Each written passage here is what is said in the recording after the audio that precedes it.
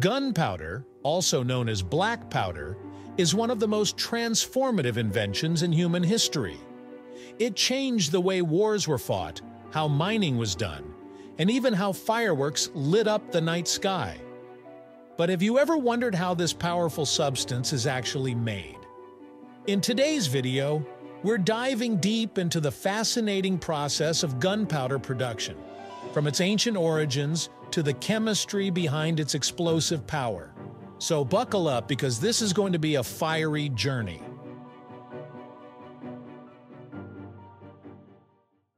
Let's start with the basics. Gunpowder is a mixture of three primary ingredients, potassium nitrate, charcoal, and sulfur. Each of these components plays a crucial role in the chemical reaction that makes gunpowder so effective. Potassium nitrate, also known as saltpeter, acts as the oxidizer. It provides the oxygen needed for combustion. Charcoal serves as the fuel, and sulfur helps to lower the ignition temperature and increase the speed of the reaction. When combined in the right proportions, these ingredients create a mixture that burns rapidly and produces a large volume of hot gas, which is what propels bullets, blasts rocks, or launches fireworks into the sky.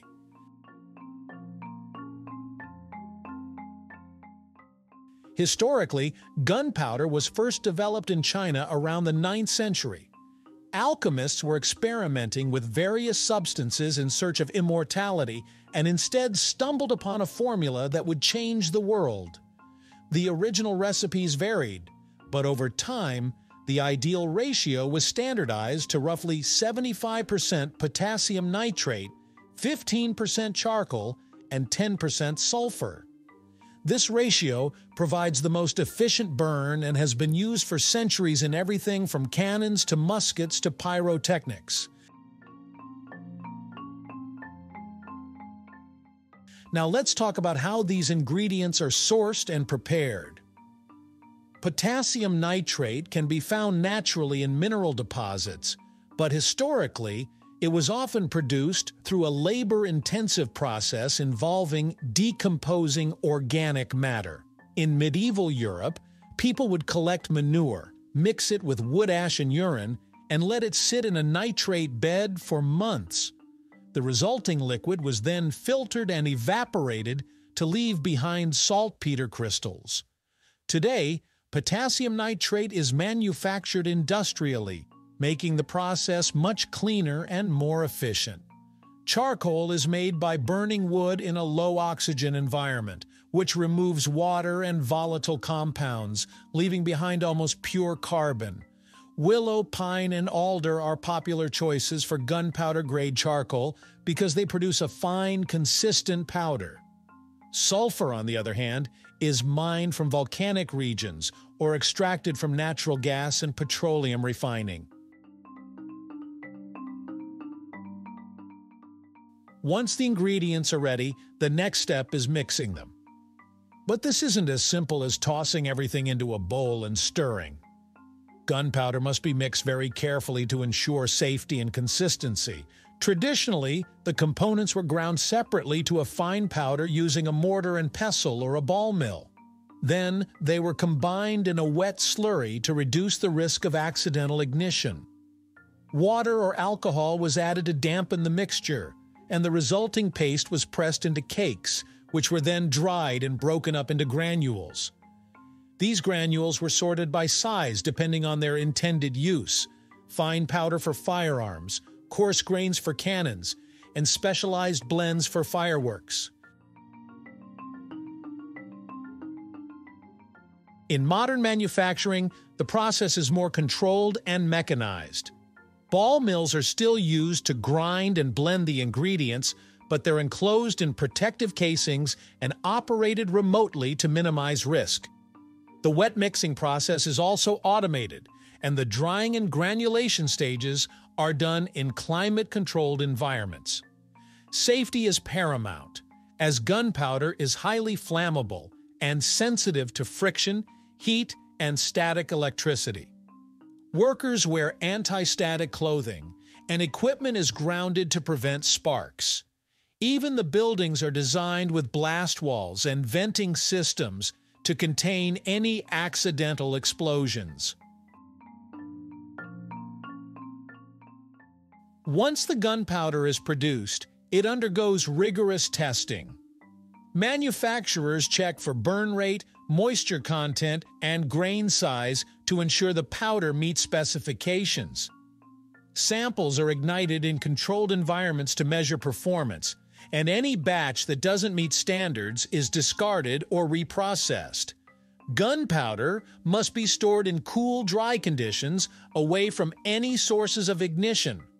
It's typically packed in airtight containers and labeled with hazard warnings. In many countries, its production and sale are strictly regulated, requiring licenses and inspections to ensure public safety.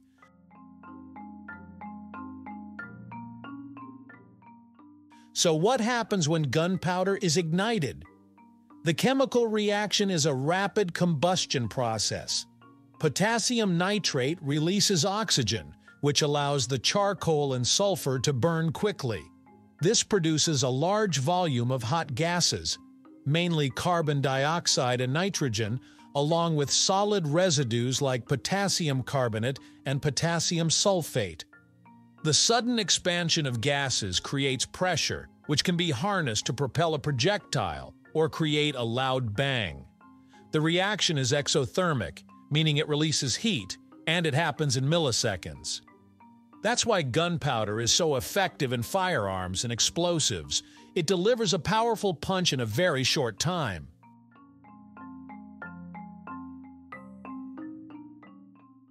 Despite its age, gunpowder is still widely used today. While modern explosives like TNT and smokeless powder have largely replaced it in military applications, black powder remains essential in certain fields. It's used in antique firearms, historical reenactments, and pyrotechnics.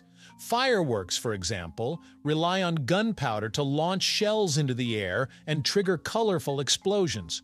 It's also used in mining and quarrying, where controlled blasts are needed to break rock.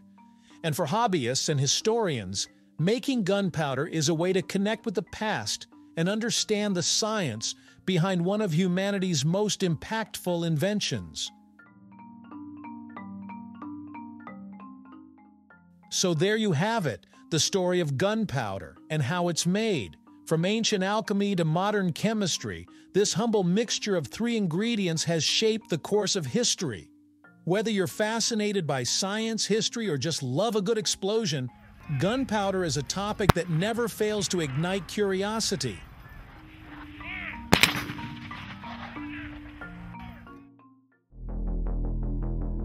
Thank you for watching.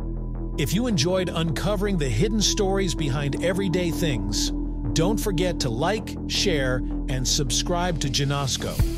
Hit the bell so you never miss a new discovery. Until next time, keep exploring the world's surprising backstories.